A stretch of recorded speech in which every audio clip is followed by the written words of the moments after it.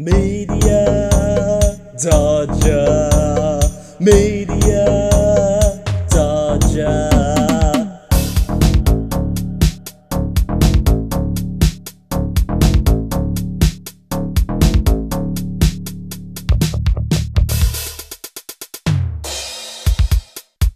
He doesn't perform a dodge, which makes his name exceptionally odd.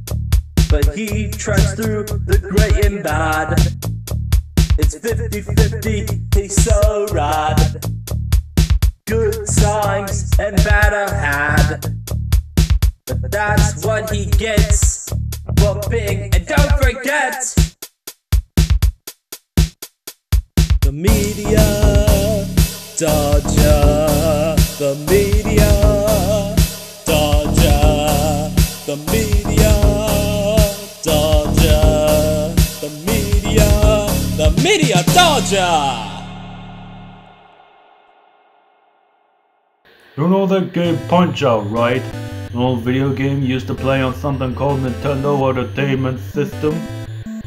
It has been regarded during the 80s as one of the all-time classic video games, highly notable for its colorful cast of characters from around the world, plus its addictive appeal. So many people love and cherish this game, not quite as well known as Super Punch Out, released for the Super Nintendo Entertainment System.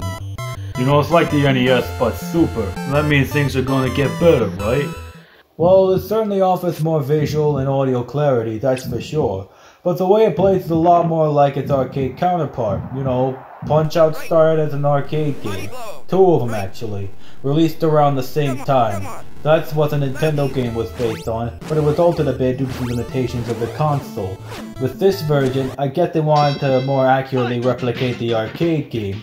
That doesn't automatically make it better than the NES version, but let's take a closer look anyway. The game puts you behind the player, who is transparent so you could see the opponent. On the NES, such transparency wasn't possible, so they had to make Little Mac so tiny. But here, he's not so little anymore. Yeah, I know it's up for debate whether or not this is really Little Mac, since he looks different and all. But honestly, it's a box that you can give a name to with the save data and all that fancy stuff. So it can be Little Mac if you want it to be. One obvious thing you may notice that's different in this version if you've played the old version is the power meter at the bottom of the screen. What you need to do is keep landing punches without getting hit to fill it up. Once it's full, you can throw more powerful punches. Pretty nifty way to do a number on the guy. As far as defending yourself goes, you learn pretty early on how important all the different defenses are. You got dodging and blocking, whether to the head or the body. Defense doesn't become a huge issue with the first opponent, Gabby Jay. Gabby Jay's a bit like Glass Joe, you know, Glass Joe from the old version. Both fighters have the same record, 1 win, 99 losses. In fact, in Gabby Jay's bio in the manual, it says his only victory was against Glass Joe, his trainer at boxing school. Same records, about the same difficulty, just wail on the guy wherever his guard isn't. You should beat him in no time as long as he can also dodge his attacks. Dagger though, it's a bit more tricky. You can't give a body shot. Don't do you no good. You just make the funny face. You think I am a baby? You trying to make me laugh? It ain't working. The important thing here is to learn to duck. You can't just dodge or block a specific attack of his where he crashes at your head with both fists. What's this ear clap nonsense? You trying to deafen me, man? You need to duck this move. You can do this easy by pressing down on the D-pad. Learning this is a bare necessity. Mr. Hurricane teaches you the importance of blocking. Notice the pattern? The first three opponents give you a taste of what it's like to use the three different forms of defense. Dodging, ducking, and blocking. You know, it's very important to understand because some, some attacks require different defense. You know, you can't block uppercuts, you can't duck body blows, and some attacks you have to duck. It's a matter of getting punched a few times before you realize what the attack patterns are, how to deal with them, how to strike back effectively, you know? You gotta use your head, not as a glove magnet, but as an ever-growing encyclopedia of your opponents. Thankfully, I've played this game a lot and I have a fair share of experience, especially considering this. Under normal circumstances, Piston Hurricane can throw a series of jabs and body shots in what's called the Hurricane Rush. You can stop it from happening by giving him a body shot once he returns from backing up. Just study your opponents constantly, you got him read like a book. Bald Bull's dropped down a notch. Remember how hard he was before? Now he's a bit easier considering he's the minor circuit champion here.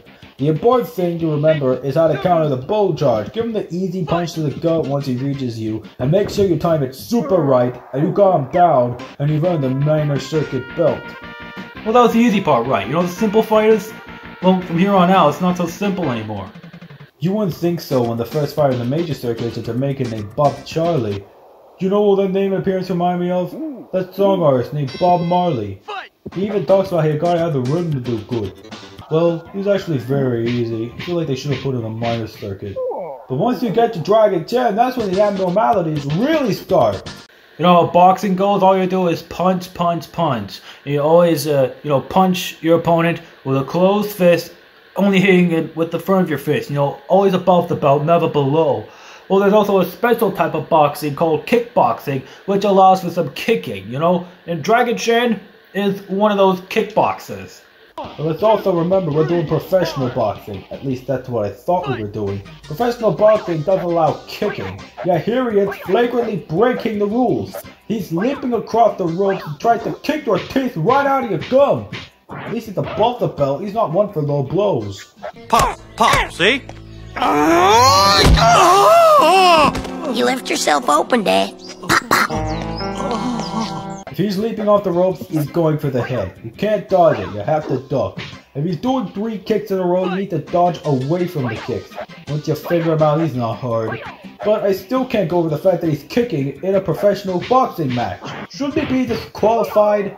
But if you thought Dragon Chan was a dirty cheater, wait till you battle Masked Muscle. This one's a Lucha Libre wrestler. You know what lucha libre means in Spanish? It means wrestling. Yeah, nothing fancy. It's just wrestling. So really, the sport is just called wrestling wrestling. It's pretty obvious right away he's a cheater when his cornerman calls him to spit in your eye. The real concerning thing is that it's not just spit. According to his bio, he was kicked out of the professional wrestling for spitting an unknown substance at his opponents, causing him to become disoriented. I to guess that Masked Muscle is some kind of drug abuser. Like, what is a substance in his spit? Is it like some kind of hallucinogen or something? That's the case, then uh, not only was he banned from wrestling, it's no wonder, but why not just ban him from fighting as a whole, since he's clearly not learned his lesson here? And the top of all love, he does headbutts. Seriously? Just take this cheer out, and then you get to fight the champ, Mr. Sandman. Just like Bald Bull, he's dropped out of the league and is the major circuit champion. But he's about as hard as he was. His punches come pretty quick, except sometimes he waits a bit on his uppercuts. You need to get used to timing your dodging. You think you should dodge earlier, but no. You can't let him throw off your timing.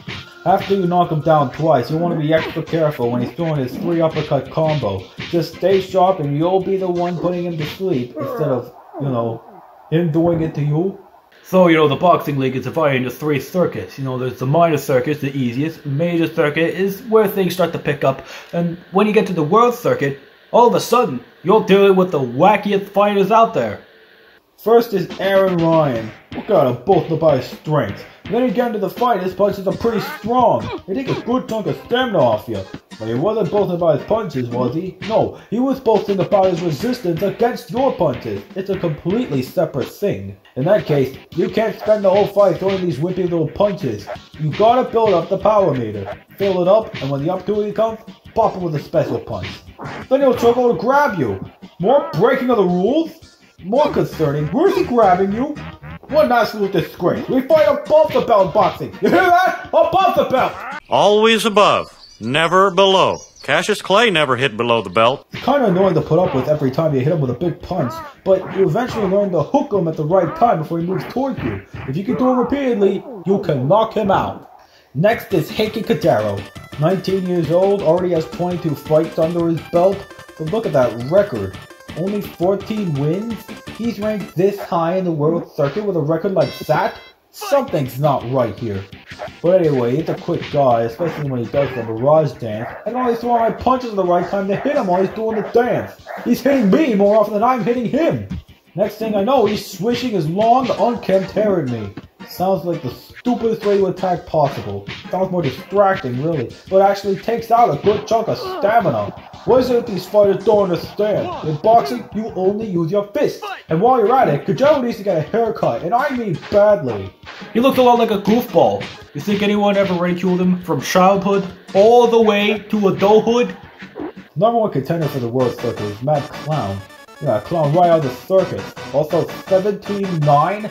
No way he's ranked this high. Just looking at his profile, you can tell they recycled Bear Hugger sprites. Not really a surprise since they're typically recycling sprites anyway. But just the thing, you can't give him body shots. It's all to the head. But that ear clap is a bit more deadly. He basically keeps you still, squeezing out your stamina. That's not nice.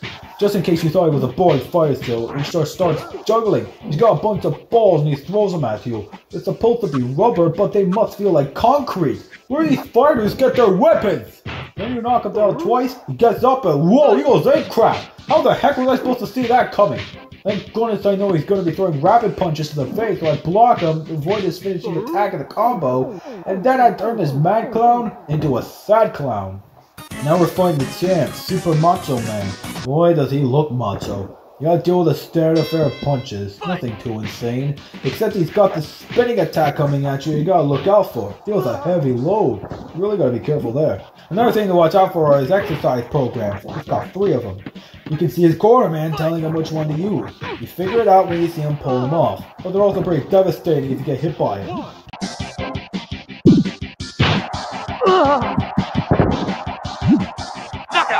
Ugh, I lost that one. Now he's just show him off.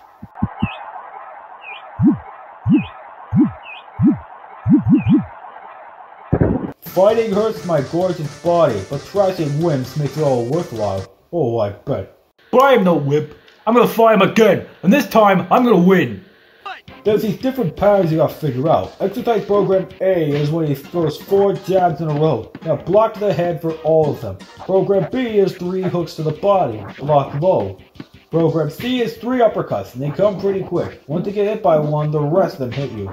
See, it's all the patterns you gotta figure out, and once you got it handled, you got the world circuit in your grasp. So now I'm the world champ. That means I beat the game, right? Well, actually, there's a catch to this whole thing. See that option there? That's for the special circuit. The only way to play the special circuit is if you have a perfect record on all three of the previous circuits. So if you don't have a perfect record, you lost at least once on any of the previous three circuits, well, you don't necessarily have to go back to the beginning. You just have to redo the circuits you didn't get a perfect record on. So that means I'm just going to be playing the world circuit over and over until I get that perfect record. Then I can play the special circuit. I'm ready to train up for this though.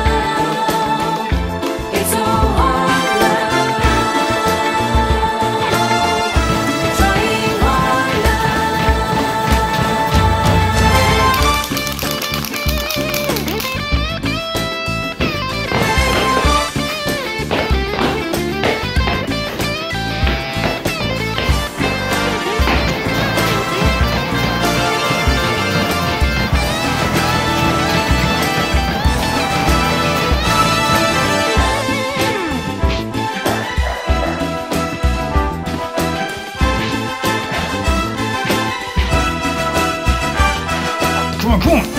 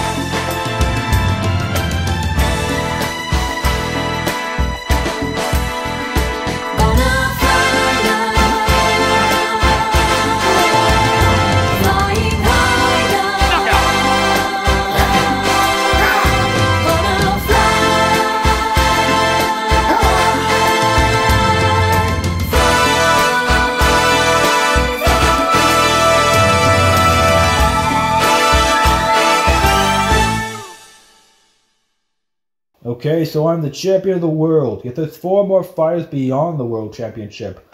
What kind of division does a special circuit represent? The universe championship? Your first opponent here is Narcissus Prince. Wait, his record is only 12-3? There's no way he should be ranked this high in the overall boxing leagues. Appropriately, he's the easiest opponent, but there's a catch. He'll be defending his face a lot. The only way to hit him in the face is if you stun him with a body shot. Most of the body shots you hit him with after dodging his attacks won't stun him. You have to hit him after you dodge his uppercut. Now you can hit him in the face. He does not like face shots, and the pacing will pick up once you give him a headshot. This is something you need to do in order to beat him. His outrage at getting punched in the face resets each time he gets knocked down. But once you hit him in the face, all you have to do is watch out for his attacks and you're home free. Starting with Hoy Quarlow though, things are going to start getting tricky. This guy puts Mr. Miyagi in shame with how agile he can be. Aside from the illegal use of his K to attack you, just look at his attack. He can clean your clock when he goes for the kick spins around with his backhand. He can be so unpredictable. He's too fast, and he's definitely not playing fair. But once you beat him, there's the Bruiser twins you gotta face. First is Rick Bruiser. This is what you call a fighter. His attacks are so dang powerful, you gotta watch out for his deadly uppercut after he shakes the ground. But you gotta be ready in advance, so try dodging just before he lands. Keep that position as he throws the uppercut. Rick Bruiser is a cakewalk compared to his brother Nick Bruiser. Oh man, let me tell you about Nick Bruiser. With how strong his punches are, he makes Ivan Drago look like a softie. His punches do a lot of damage, and he's got this very dangerous elbow attack as he launches himself at you. He can even use his elbow to bust up your hand so you can't use it to punch. It's all the cheaters in the boxing league. Is no one gonna do something about it? Oh, and I'm not exaggerating about the strong punches either. The only real way to get past this 12 punch combo he does is to block his punches. But each punch takes a little bit of health away. This is a strong opponent we're dealing with here.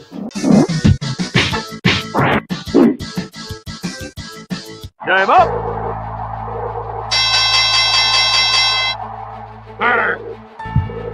I forgot to mention there's a time limit. If 3 minutes pass and you still haven't knocked the guy out, you automatically lose. It's all one round, and there's an extra condition that you have to knock the guy out in order to win. How it worked before is there was 3 rounds, and at the end of 3 rounds, if neither opponent has knocked each other out, then the decision is rendered. But here, this is such a picky game. You could do brilliant against your opponent and you could still lose because you were too slow. But that's not happening this time. Nick Bruiser, prepare to become bruised. This time, I won't be so slow on my offense. Bruiser!